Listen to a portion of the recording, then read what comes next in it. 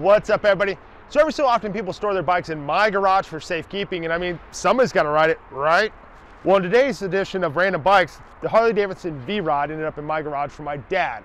Unfortunately after too many knee surgeries and his unwillingness to switch to a trike, here we are. Well we're going to make the best of it, do an overview of this bike, go cosplay as a badass, and give it that awe-inspiring motopologist review. In 2001, Harley introduced their newest alphabet soup lineup called the VRSC, standing for V-Twin Racing Street Custom. This was a water-cooled motor and made the most horsepower of any Harley produced before that time. This was massive changes and caught a lot of people off guard, but the thing that got most people was the co-designer of the motor.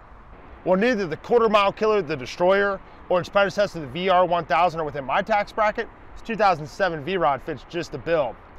The V-Rod runs a Porsche co-designed motor, 1130cc dual overhead cams with four valves per cylinder, making about 125 horsepower and 85 foot-pounds of torque. To put that in comparison, the Aprilia V-Twins ran about 125 horsepower, but only 70 foot-pounds of torque at a higher RPM. This is also a 60 degree V-twin, which deviates from the traditional Harley 45 degree V-twin. The V-Rod was built with one thing in mind, straight line domination, and the chassis does just that.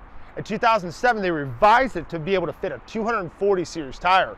Running big and little up front pays homage to the hot rod era. The suspension on the bike is a twin exposed shocks with preload adjustability, and the front forks run no adjustability. Simple hot rod. Now Harley opened up the trick playbook on this one. Having a low saddle height, plus a hidden fuel cell underneath the seat lowers the center of gravity. The battery is actually placed underneath the gauges, a common trick by drag racers to keep the front end from coming up. It does require you to move the faux gas tank plus the airbox to get to it. Not as bad as the Ducati ST3, still a pain in the ass. So with a hot rod setup aimed at getting younger butts on bikes, why do the purists hate this bike so much? Let's take it out for a ride today and see what we think.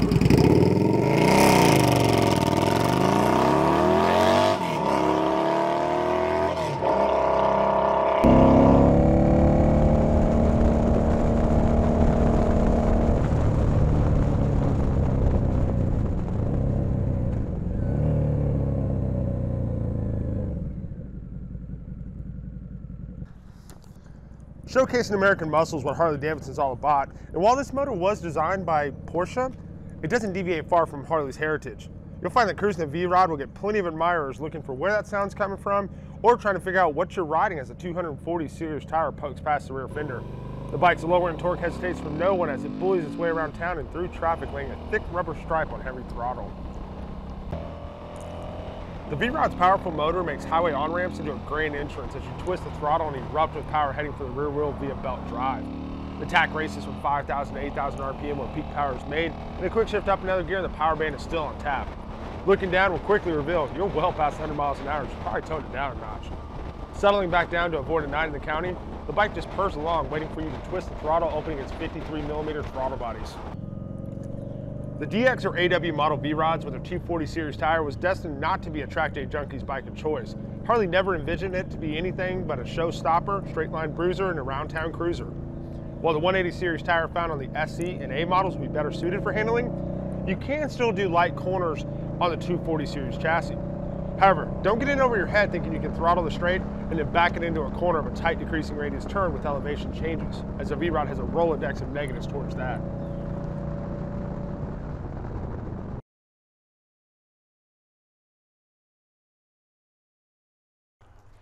The V-Rod runs an extremely low saddle height, around 27 inches.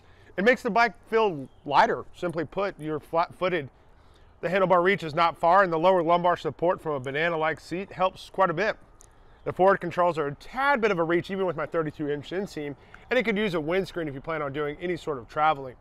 For comfort, I'd give it a 6. The low saddle height, combined with a torque monster motor, can make a normal commute into a stoplight to stoplight drag race. The bike basically implores you to throttle up at all times. While wrist discipline may override the bike's desire, the motor will respond by lugging along in the low RPMs. One great thing about the V-Rod though is its water-cooled motor. Sitting in traffic will no longer mean you have to shut it down and pull off to avoid thermal overload. A lack of storage though, you're wearing a backpack anywhere you need to go. For commuting, I'd give it a 7 just because I found it so appeasing to find openings in the road to throttle from 5,000 to 7,000 RPMs. The V-Rod is about as bare bones as you can get on a cruiser, and the lack of windscreen means you're going to catch all that air in your chest. Even with a good sweeping bar, the ability to hang on during full throttle is a challenge as the forward controls and handlebar reach put you in an awkward position. Entering the highway and maneuvering of blind spots is easy as the motor makes great power all around. For highway riding, I'd give it a 6. While some may be able to ride through a set of twisties on an oversized rear tire, I'm not one of them. The 240-40 series tire on this bike required an immense amount of effort to get the bike into cornering position and at the same time trying to keep the tiny sidewall from sliding. The 19-inch front wheel does the bike no favors and makes the chassis feel a little sketchier in the tighter corners. The forward controls give a rider a poor body position for quick twitch handling. As mentioned earlier, the V-Rod is a Kylo Ren to the AMA VR1000 in terms of handling, joining the dark side of straight line racing, but leaving behind the ability to corner well. I liken it to asking Don Garlits to bring out a front engine dragster to an autocross meet. For handling, I'd give it a five. Acceleration. This is where the V-Rod shines. This is where the bike makes up for all its other flaws. Harley knew this and used its motor in the drag strip only bike, the Destroyer, getting the bike deep into the nines straight out of the box. If the chassis could actually put down the power given, the bike would give the Japanese sport bikes a run for the money from a dig.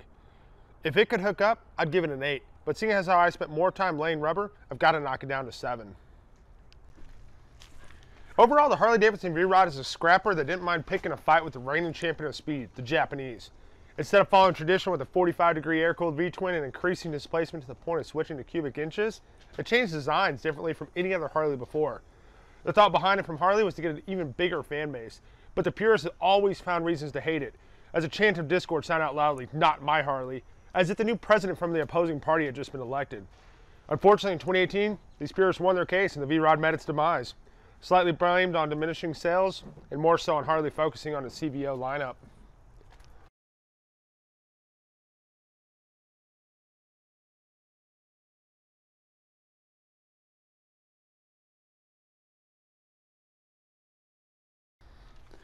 So if you like my review on the Harley-Davidson V-Rod and you want to see more reviews just like it, click subscribe, like, comment, do something. Let me know what you think.